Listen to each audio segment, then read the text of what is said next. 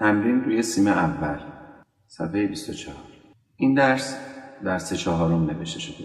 سه چهارم یک میزان ساده است سه ضربیه هر ضرب اون یک سیاه به حساب میاد.